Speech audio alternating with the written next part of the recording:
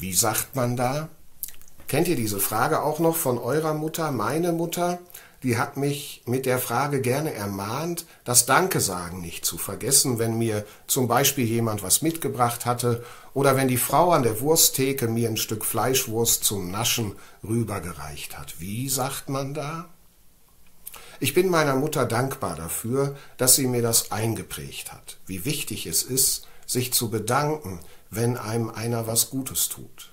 Bis heute ist mir das wichtig und bis heute versuche ich zumindest das zu leben, weil ich ja selber weiß, wie gut das tut, wenn man so ein Dankeschön hört.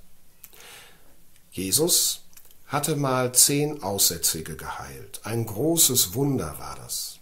Aber nur einer unter den zehn Aussätzigen, als er sah, dass er gesund geworden war, kehrte um und pries Gott mit lauter Stimme und fiel nieder auf sein Angesicht zu Jesu Füßen und dankte ihm.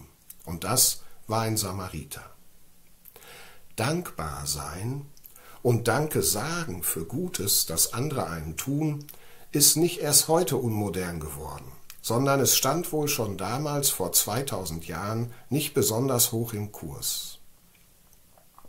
Die biblische Geschichte von dem einen dankbaren Geheilten, der umkehrt zu Jesus und der ihm zeigt, wie er sich über die Heilung freut, diese biblische Geschichte macht mir Mut, konsequent gegen den Zeitgeist anzustinken, mit meinen kleinen Mitteln. Heute da will ich Gott und den Menschen ganz bewusst Danke sagen. Danke sagen für das, was sie mir Gutes tun. Mir Zeit nehmen für ein Dankgebet und im Laufe des Tages dann darauf achten, anderen zu danken, wenn es Grund dafür gibt. Und ich bin gespannt, was das aus diesem Mittwoch so macht.